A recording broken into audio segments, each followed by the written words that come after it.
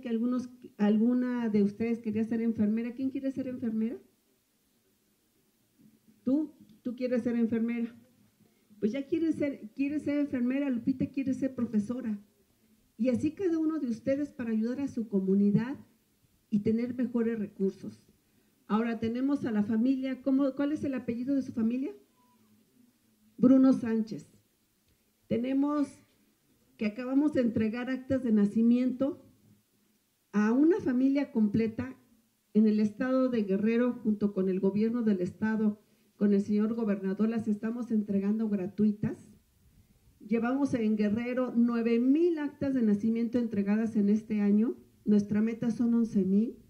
Y la verdad nos ha sorprendido la rapidez en que vemos la solicitud o la demanda de tener un acta de nacimiento que no se cobra nada, que es gratuito por parte del gobernador, de su gobernador Héctor Astudillo, que a mí sí me gustaría que le diéramos un aplauso por que todos podemos pensar que tenemos un acta de nacimiento, pero nuestra población indígena todavía no cuenta con un acta de nacimiento.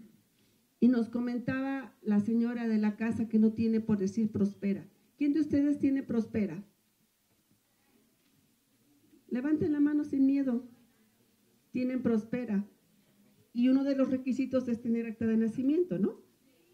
Y si tiene prospera, a usted le va a poder ayudar a que tengan una beca a sus hijos para estudiar. Eso es la diferencia de contar con un acta de nacimiento.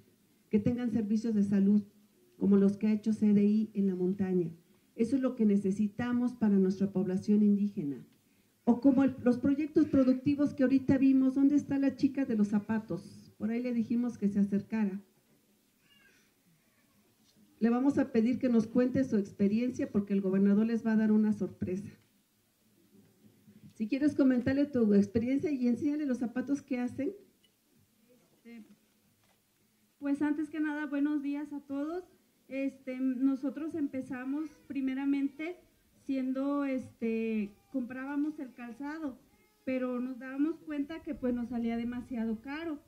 Y este, entonces, pues conocimos acerca de la CDI y decidimos meter este, nuestros documentos, ¿verdad? Para sacar un proyecto